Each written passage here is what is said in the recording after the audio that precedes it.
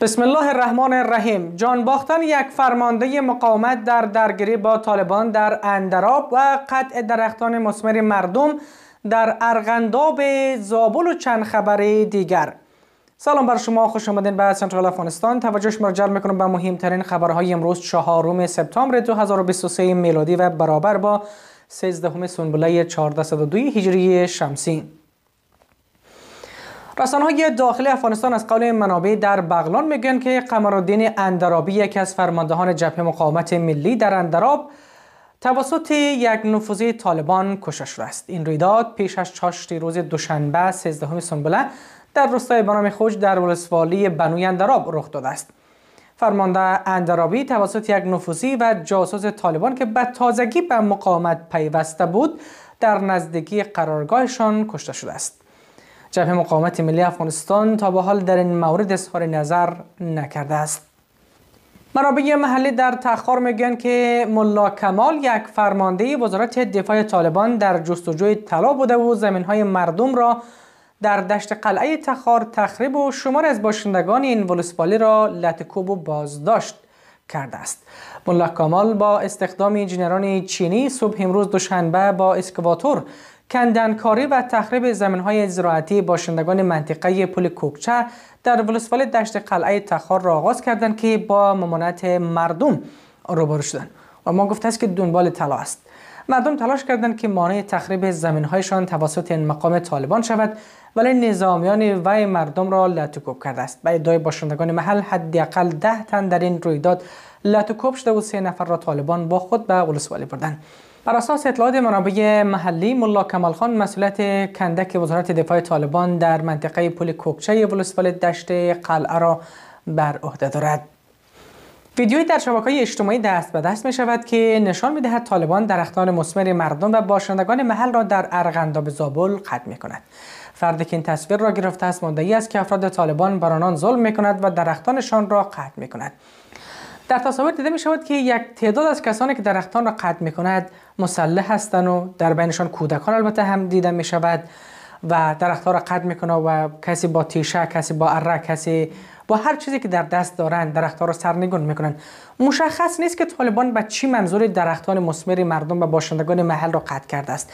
اما شمار باشندگان محل با نشر کلیپ ها و متن های در شبکه اجتماعی از جمله فیسبوک و اینستاگرام مدعی هستند که یک فرمانده طالبان زمین های آنها را غصب کرده و درختان مسمرشان را قطع می‌کند. گروه طالبان در گذشته بارها این کار را کردند. شمار از حامیان طالبان در ولسوالی خاص ارزگان ولایت ورزگان مشخصا مردم هزاران بارها درختانشان را قطع کرده در طول هفته ها و روزهای اخیر و خرمان های گندمشان را نیز آتش زده بودند.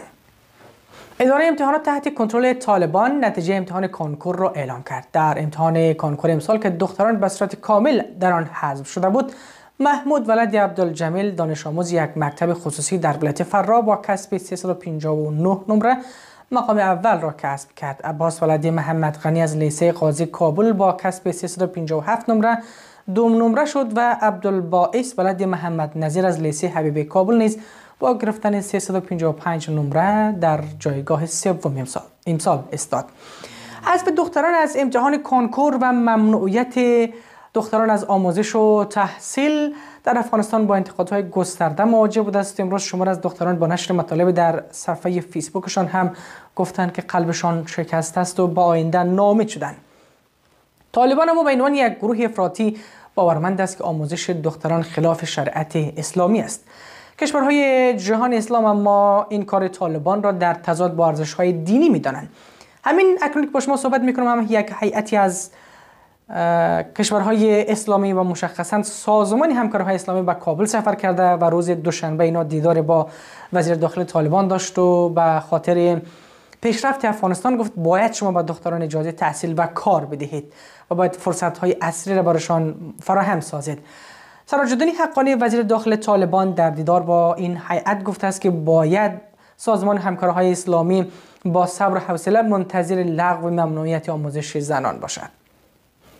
معاون رئیس الوزرای طالبان گفته است که پس از روی کار آمدن این گروه در سال 1400 هجری شمسی این امکان وجود داشت که جنگجویان طالبان از مردم انتقام بگیرد ولی این کار را نکرده است. عبدالسلام حنفی گفته است که اشغالگران 20 سال در افغانستان بودن به ایده از مردم با آنها همکار بودن و طالبان می توانستند پس از پیروزی به گفته او هر کاری که دلشان شود انجام بده ولی با عفی که رهبرشان اعلام کرده است از قتل عام و خونریزی جلوگیری شده است. در حالی است که در طول هفته های اخیر و ماه های اخیر و دو سال اخیر هزاران نفر به قتل رسیده هزاران نفر زندانی شده شکنجه شده و صدها هزار نفر مجبور به ترک افغانستان شدند. اکنون هم طالبان زندگی را بر مردم افغانستان تنگ ساخته است اما عبدالسلام حنفی میگه که افغانستان رو به پیشرفت است و امن و امان است و عفو عمومی عملی شده است و هیچ کسی ناراض نیست. این مطلب را آقای حنفی امروز دوازدهم دیروز دوازدهم اسد در پایان برنامه حسابدهی طالبان و ملت در کابل بیان کرده بود.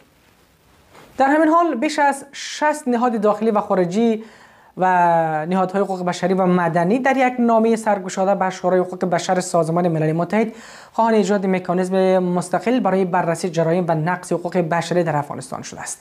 آنان از این شورا خواسته است که جنایت طالبان را باید مستندسازی کنند. این نهاد روز دوشنبه خواهان تمدید مأموریت ریچارد بین گزارشگر ویژه سازمان ملل متحد در مورد وضعیت حقوق بشری افغانستان شدند. افزون بر آن نهاد از کشورهای عضو سازمان ملل متحد خواست است تا نسبت به پیگیری گزارش های ارائه شده از سوی گزارشگر ویژه این شورا در مورد تبعیض علیه زنان و دیگر موارد نقض حقوق بشری اطمینان حاصل کنند.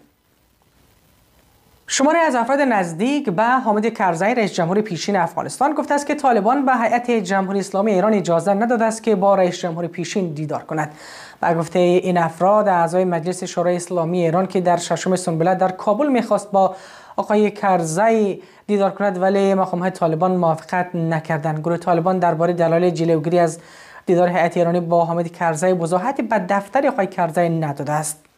این هیئت هفت نفری ایرانی که هفته گذشته به ایران سفر به کابل سفر کرده بود با مقام های طالبان دیدار و گفتگو کردند حسین امیر عبداللهیان وزیر خارجه ایران در اظهارات تازه در مورد حقابی آن کشور از رود هلمند گفته است که طالبان انتظارات ما را برآورده نکرده است. وزیر خارجه ایران در گفتگو با روزنامه اطلاعات آن کشور که روز شنبه 11 سنبله منتشر شده گفته است که انتظار ما این بود که وقتی قرار است طبق قرارداد سال 1351 عمل شود باید طالبا هر ماه اجازه می‌داد که به صورت تکراری و مسلسل هیئت ایرانی از آبها دیدار بکنه و بررسی های همه جانبه انجام میده. ولی این کار نشده است. و افزوده است که ما بیش از یک سال از طرف افغانستانی درخواست ایجاد امکان این بازدید را کردیم و هیئت فنی ما آنچه را که در عهدنامه آمده است را بازدید کرده است. اما نکته بسیار مهم اینجاست که این بازدید اولا باید همیشگی باشه و ثانیا باید در ماه حمل که فصل بارندگی است انجام می گرفت طالبان یک فرمانده محلیشان به اسم مولوی الهام را در ولایت میدان وردک بازداشت کرده است. مولوی الهام که در ده سال اخیر حکومت جمهوریت نقش کلیدی در جنگ های طالبان در میدان وردک مشخصا ولسوالی چک داشت. به دلیل عدم حضور طالبان میدان وردک در بدن طالبان در پست های بلند انتقادهای از این گروه کرده بود و در صفحه فیسبوک و توییترش منتشر کرده بود. اما از سوی طالبان بازداشت شده است. در همین حال شمار از طالبان در ولایت میدان وردک و شمار از باشندگان میدان وردک و هواداران این فرمانده طالبان با راندازی کارزار در شبکه اجتماعی خواهان رهایی شده است. از توجه و همراهتان با سنترال افغانستان جهان سپاس. تا درود دیگر بدرود.